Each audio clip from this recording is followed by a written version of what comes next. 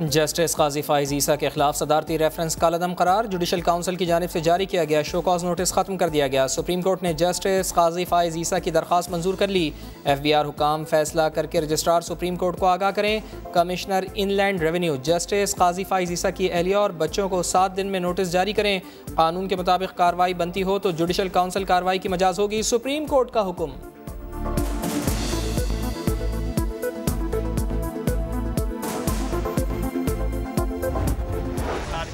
ये एक, एक सेकंड सर ठहरिएगा एक सेकंड सर ये केस जीत हार का नहीं था।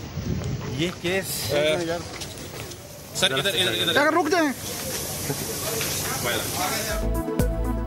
ये केस हार जीत का नहीं था। सुप्रीम कोर्ट के फैसले पर हुकूमती वकील फरोग नसीम का मुख्तसर जवाब। पार्लिमानी सेक्रेटरी बरए कानून। मलाइका बुखारी ने कहा जजेस के फैसले का एहतराम करते हैं, आइन और कानून की बालादस्ती पर यकीन रखते हैं। क्या फैसला चैलेंज करेंगे? मलाइका बुखारी का जवाब देने से गुरेज वज़ीर अजम इमरान खान से कानूनी टीम की मुलाकात, फैसले पर ब्रीफिंग।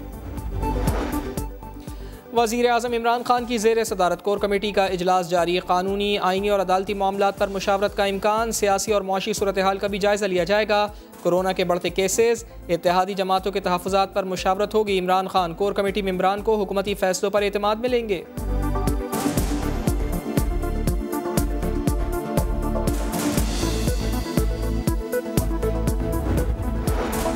सिंध के अमन पर दुश्मन का वार एक ही दिन रेंजर्स पर तीन मुख्तलिफ़ मकाम पर हमले। घोटकी में रेंजर्स की गाड़ी के करीब धमाका, दो अहलकार और एक राहगीर शहीद। पाँच जख्मी हो गए। कराची के इलाके लियाबाद में दसी बम हमला। शहरी शहीद रेंजर्स अहलकारों समेत आठ जख्मी। लाड़काना के वी आई पी रोड पर भी रेंजर्स पर क्रैकर हमला। जानी नुकसान नहीं हुआ। दहशत गर्दों को बैरून मुल्क से ऑपरेट किया जा रहा है। हमलों में अलीहदगी पसंद तंजीमें मुलविस हो सकती हैं। हुकाम को खदशा।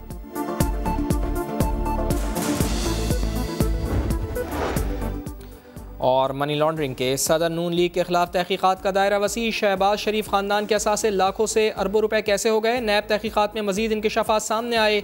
असासे बनाने के ज़राए नामालूम, जाली और ख्याली हैं। रिपोर्ट में इल्ज़ाम, उन्नीस सौ नब्बे में शहबाज शरीफ ख़ानदान के असासे बीस लाख से जायद थे।